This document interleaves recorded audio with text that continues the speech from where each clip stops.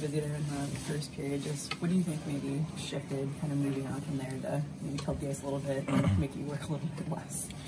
Yeah, I think just trying to keep the puck in front of me and try and make as many saves as possible. I think just so we can catch ourselves and kind of get the momentum back. I think that's all I could really do is try my best, stop everything, and hopefully that the guys get the, their feet under them and we're able to switch momentum. Tage Thompson has been pretty hot lately. Did you find yourself peeking at him on the power play or being cognizant of where he was? No, I was just focused on who was shooting.